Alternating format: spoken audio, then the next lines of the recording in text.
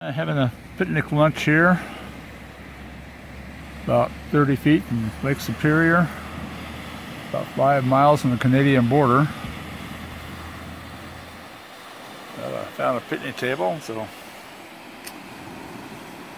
and it's lunchtime.